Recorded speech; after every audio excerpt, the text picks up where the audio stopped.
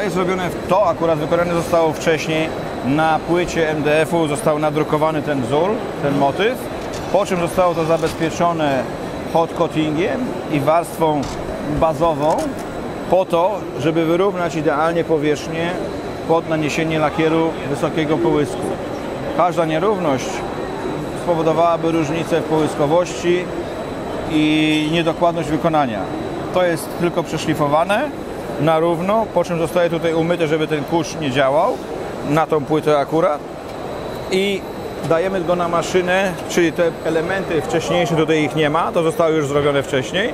O końcowym etapem, końcowym członem tego urządzenia, które by dawało to, ten wysoki połysk jest ta maszyna, gdzie mamy tylko dwa miejsca, yy, dwie lampy UV, nakładamy lakier i za, za pomocą wykorzystania tej przeźroczystej folii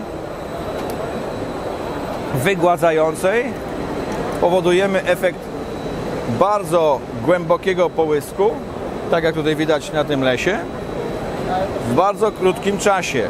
W innej technologii po, potrzebujemy dużo więcej warstw i międzyszlifów, żeby uzyskać taką połyskowość. Tutaj jest to za jednym przejściem osiągnięte w jeszcze większej głębokości niż normalnie standardowy proces lakierowania na wysoki połysk. Może negatywną tylko y, aspektem tego jest, że ta folia jest jednorazowa. Czyli jak nam przeszła, nawiliśmy na drugą stronę, musimy później założyć nową. Ale prędkość produkcji i ograniczone ilości lamp, ilości międzyszlifowania i długości samego urządzenia znowu przemawia za tą technologią. Na następnej maszynie, jeśli przejdziemy, na tym urządzeniu, znowu wykonanym przez firmę Barberan, staramy się pokazać na tych targach super głęboki mat. Czyli wkładamy płytę, która jest polakierowana na jakiś tam konkretny y, kolor i chcemy uzyskać bardzo ładną, miłą dla dotyku powierzchnię, która jest zarówno miła, jak i matowa. Do tego wykorzystujemy specjalne lampy oddziaływujące na powierzchnię. One są, działają w osłonie azotu.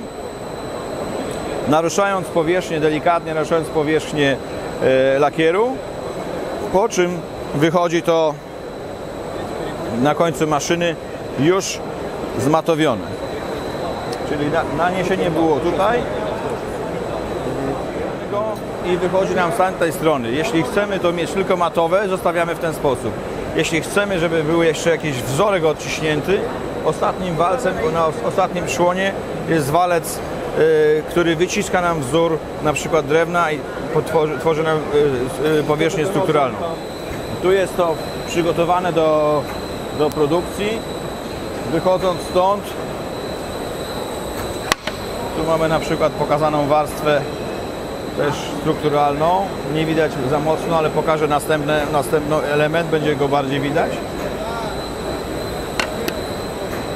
A jeden z odbiorców drukuje nawet powierzchnię MDF-u mm, czy HDF-u pokryte korkiem. Na nich nadrukowuje wzór drewna lub jakikolwiek inny wzór i zabezpiecza to hot coatingiem, po czym można to używać jako wykładzinę podłogową. Raz ocieplającą, dwa wypuszczającą, a wzór może być dowolny. Czy to będzie wzór drewniany, czy to będzie wzór kamienia, czy czegokolwiek, można sobie taką podłogę wydrukować. Tu widać na tamtej trzeciej maszynie, zaraz tam przejdziemy, firmy Huzer produkuje się, czy używa się urządzenia do hot coatingu po nadruku na taśmę też dowolnego wzoru, czy to będzie wzór forniru drewnianego, gatunków drewna, czy jakikolwiek obrazek, to zostaje nadrukowane. Tutaj w tym przypadku mamy papier, który nadrukowujemy, ale może zadrukować, e, zabezpieczyć e, hot coatingiem również bez te taśmy z forniru poszywane ze sobą na długość do oklejnowania profili jak i z taśmy z różnych tworzyw sztucznych. Też zabezpieczamy tą warstwą, czyli uszlachetniamy powierzchnię warstwą y, poliuretanową związaną z y, lakierem. Tu jest pokazane jak można tą warstwę, która jest super gładka na płycie MDF-u przenieść na bok, na obrzeże. To jest tak zwana technologia bezpośredniego postformingu. Direct postforming. Czyli frezujemy tą płytę aż do grubości samej folii z zewnątrz, po czym zaginamy tą folię, która jest troszeczkę związana z, z MDF-em na tą boczną powierzchnię i mamy tą samą gładź, którą mamy tutaj na obrzeżu. Jest parę metod. Tu jest pokazane. Podfrezowane jest to pod sam koniec, pod samą folię. Po czym no nie mamy takich frezów, żeby były idealnie na zero. Zostaje nam taki żas. W, ten, w, ten, w tą szczelinkę wkładamy niteczkę kleju i zaprasowujemy ją w ten sposób. Ten ubytek materiału zostaje wypełniony klejem. Zaklejamy je półokrągłe. To już jest pokazane, że folię, którą żeśmy wyprodukowali na tej maszynie, możemy okleić MDF czy HDF tą folią. Ona już jest z lakierem. Już tego nie trzeba lakierować. To już jest gotowe, bo stworzyliśmy sobie taką I to jest oklejone na normalnej, zwykłej oklejarce. na oklejniarce, tak. Ale folia jest stąd.